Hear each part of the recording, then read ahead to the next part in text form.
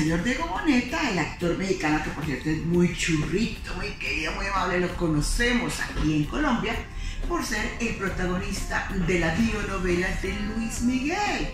Pues les queremos contar que va a ser otro que se va a especializar en este tipo de papel, porque por el correo de las brujas nos enteramos que llegó a Cartagena a pasar vacaciones, a anunciarse, a conocer la ciudad, pero a presentar casting porque lo invitaron a hacer el protagonista de la bionovela de Carlos Vives, nuestro ícono de la música colombiana, especialmente del vallenato fusión, aquí en el país. Ah, muy guardadas se tenían la noticia de la bionovela de Carlitos Vives. No, señor.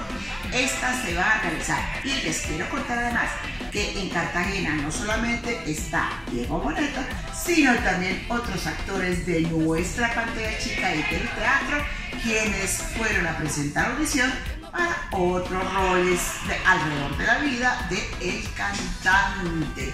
Así es de que ya, novela del señor Carlos Vives, que quién lo va a pasar al aire, que quién la va a producir. Se dice hasta el momento que Caracol para Netflix, pero será todo un éxito. Y si Diego Boneta está en Cartagena, es obvio, porque no se nos olvide que en Netflix fue donde se pasó la vida de Luis Miguel y quienes la produjeron. Entonces, como fue tremendo éxito, lo quieren asegurar con la historia de Carlos Luis. Ahí les dejo la noticia.